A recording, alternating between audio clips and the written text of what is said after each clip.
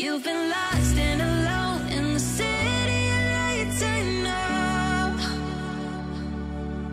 Getting high, feeling low, and it's out of your control. You should know that I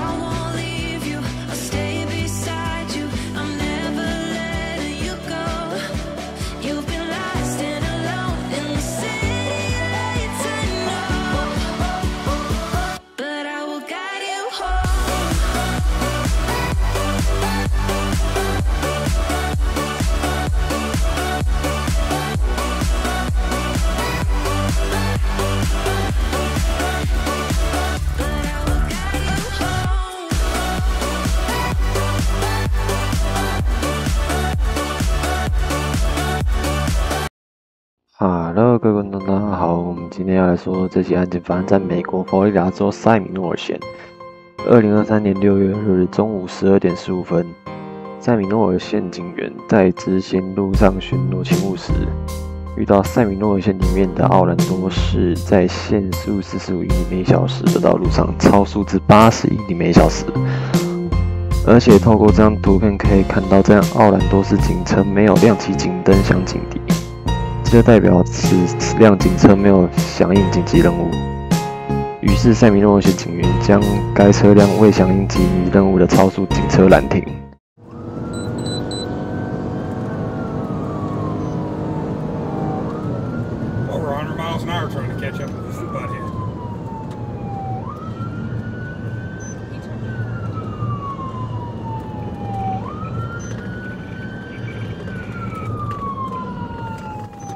过了一可能严重超速的奥兰都市警局的警员终于出现了。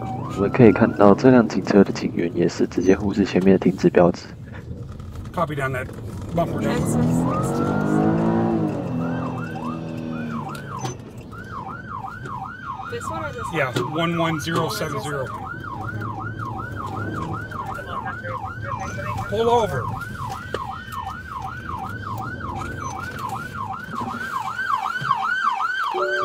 You gonna pull over? Please say a command. Pull over.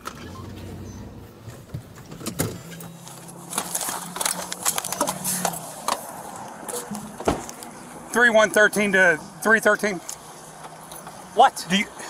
I am going I- into work, my man. Why are you trying to pull me over as I'm going? Because you're work? going 80 and a 45. I am going into work. okay, where are you going What does to it look for? like I am dressed for? I have What no- does it look like I am dressed for? My name is Deputy Hilton. I need to see your driver's license. No. Okay. 3113, copy at 1050. 10 4, I got a city, uh, Orlando PD taking off from a traffic stop. Uh, it's going to be X ray Foxtrot 6207, XF 6207. You refuse to stop. 随后，塞米诺尔县警员第一时间将奥兰多市警局警员拒检的行为汇报给情治中心， 也同时汇报了奥兰多市警局警员的车牌相关讯息。透过警车的车牌号码和所穿着的警服，很快就锁定该名拒检的警员。